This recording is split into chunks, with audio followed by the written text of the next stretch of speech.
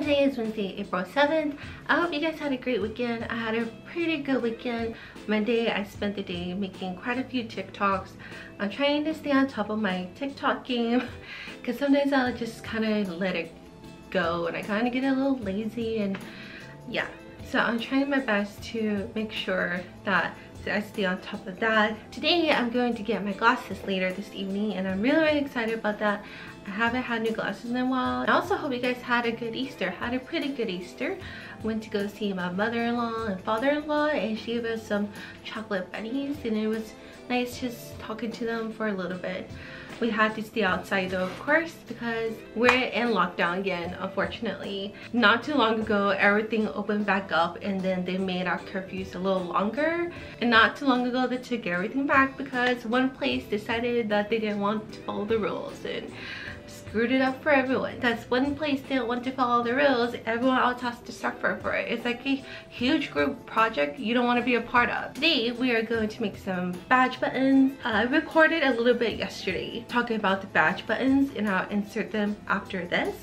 But yesterday after I recorded a little bit, we went to the grocery store, we came back, and I honestly just didn't feel like recording anymore, so I did it. I'm thinking we might try to make some magnetic bookmarks, so let's get started. If you guys have never made badge buttons before, I'm just going to show you guys this real quick before I start making my designs. Right here is a template and there's a green circle, a red circle, a gray circle, and then there's this big black circle here. Anything within this green circle you'll see on the badge button. Then the red circle kind of folds over a little bit at the bottom of the button. So anything below the green circle and past this red it's not going to be on the button. It's a really really easy template. After that you just put a background to cover the whole circle and then you cut it out and then that's pretty much it. So yeah let's get to creating a few designs to turn into new badge buttons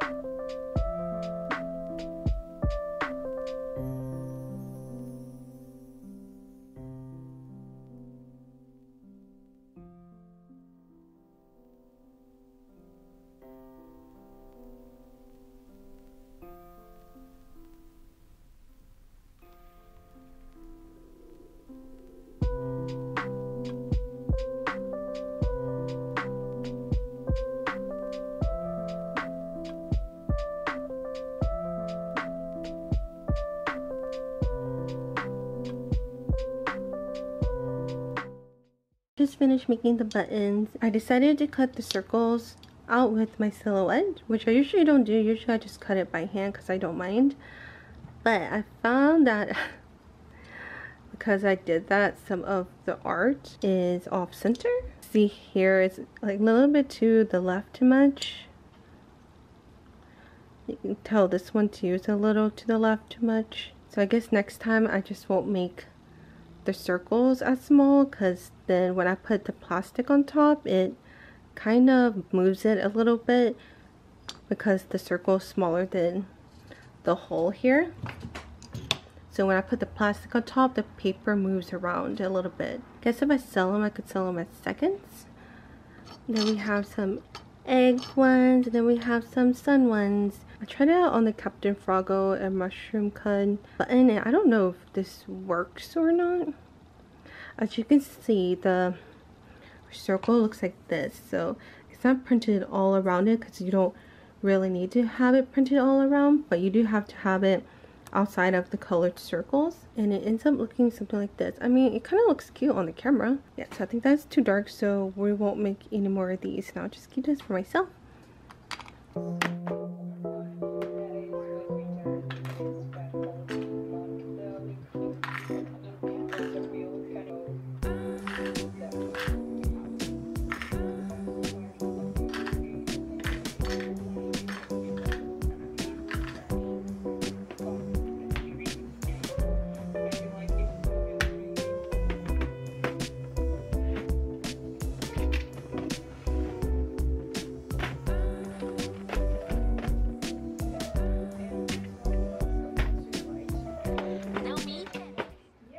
I just put this together on Fire Alpaca. I'm gonna try to make magnetic bookmarks. I'm planning to print this on glossy photo paper because laminating on glossy photo paper is really good because it adheres really well to it. And we'll see how it goes. Hopefully it turns out well. So yeah, let's try it out.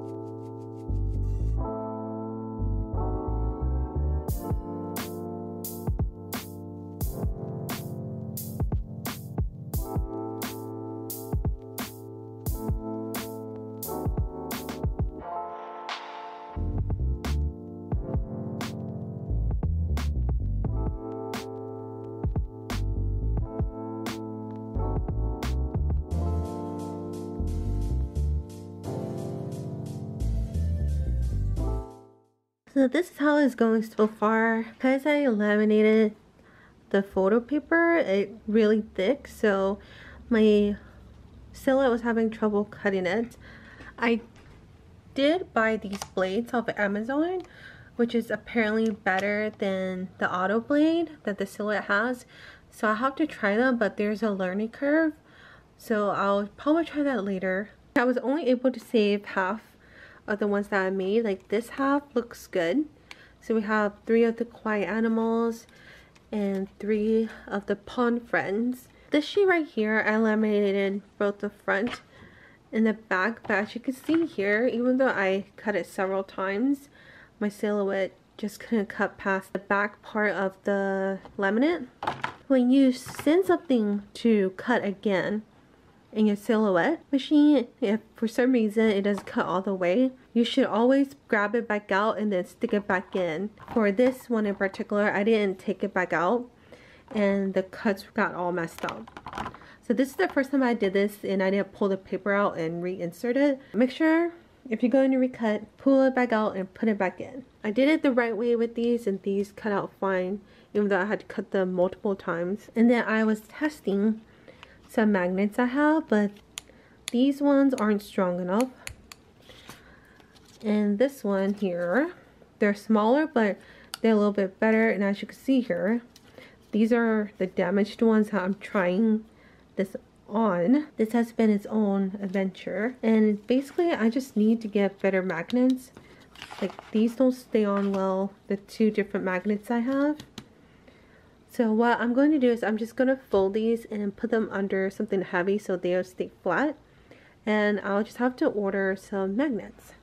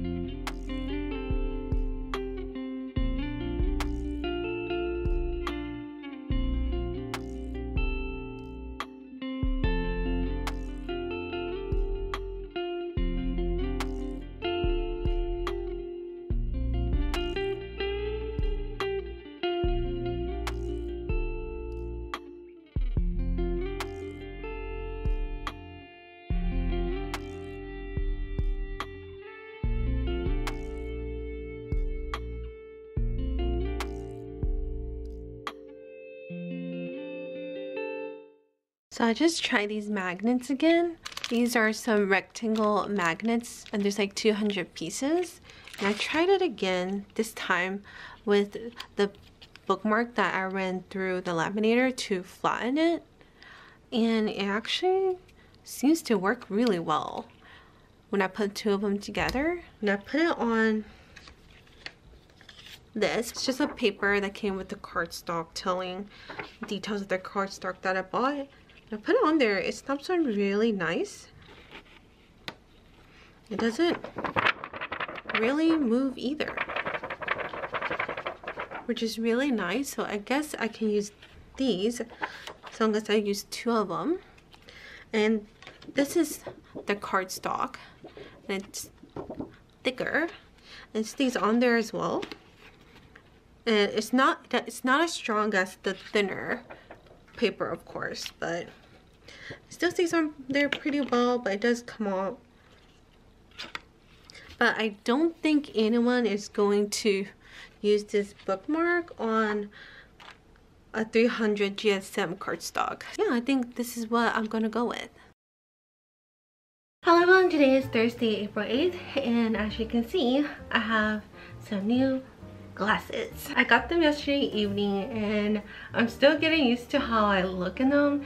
It looks really weird to me because I've never had glasses like that were this wide. I'm usually have the small rectangular glasses like my previous pair. I feel kind of weird. My husband says I look more mature. So today's goal is to finish up the magnetic bookmarks that I was working on yesterday. It took a little longer to figure out than I thought it would because my portrait was having a hard time cutting through the papers. After testing them for a while, still had a little bit of a problem, but I have an idea for the next time I make them. But for now, we're going to finish up the ones that we have. Last night, I worked on packaging for the magnetic bookmarks. So we're going to get those printed and cut. I finally made another order with Sticker Mule. I know there's some pros and cons to ordering from Sticker Mule but I finally decided to just go ahead and go with it. So last night I ordered two new acrylic keychain designs and one acrylic pen design. So hopefully they will turn out well. They're expected to get here in two weeks. So I will have to do the shop update around the end of April because I also will have to take the time to put UV resin on the back of all of that stuff. It's gonna be kind of close to the end of April when the next shop update happens. Also the Fruits Basket last season, the final season, is finally on Crunchyroll, like the first episode. So if you guys are Fruits Basket fans like me, then make sure you guys go watch it because we're watching it later because I forgot that I think they come out every Monday. So yeah, the first episode for that, so go check it out if you like Fruits Basket like me. Okay, let's get started.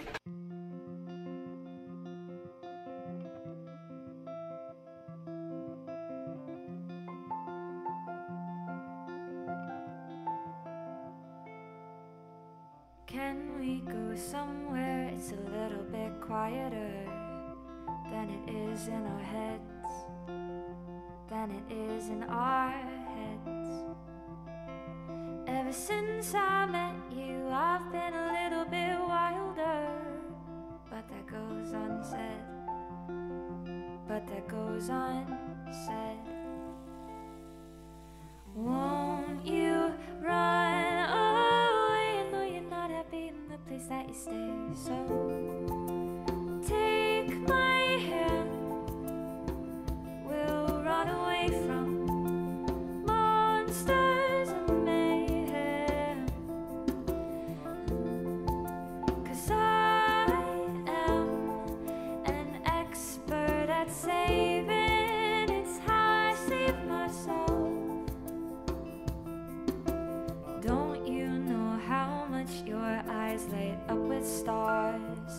Don't you know that you're my lighthouse when it gets dark? Don't you know how much you make me smile? You say you're not worth much, but I think you're worth much more than my while. Won't you run away? No, you're not happy in the place that you stay, so